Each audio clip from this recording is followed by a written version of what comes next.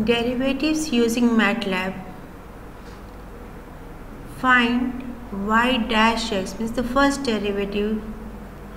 Y double dash means the second derivative. Here the equation is given y is equal to 2e to the power x plus sine x minus 5 divided by x square. Now how to use MATLAB for this question? Let's go to MATLAB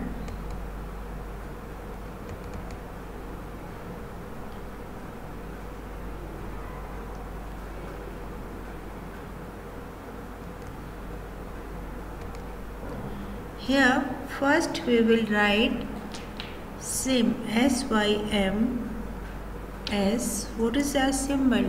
Which variable we are using? We write that x. Then write function. Give name to the function f.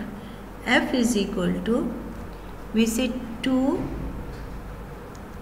multiplication we put star 2 star ex ex we write as exponent. Exp of x plus sine x. So x should be in a bracket. Minus 5 divided by this is a sign for dividing slash. X square. That means x power 2 x to the power 2 so this is your function. Press enter.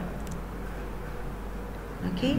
Now we want to find the first derivative. We will say differentiate diff differentiate f. Press enter. The first derivative has come. If you want the second derivative we'll say diff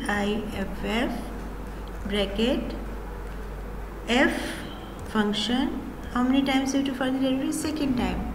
So write 2 close the bracket press enter. Similarly if you want to find the third derivative you will say differentiate f3 thank you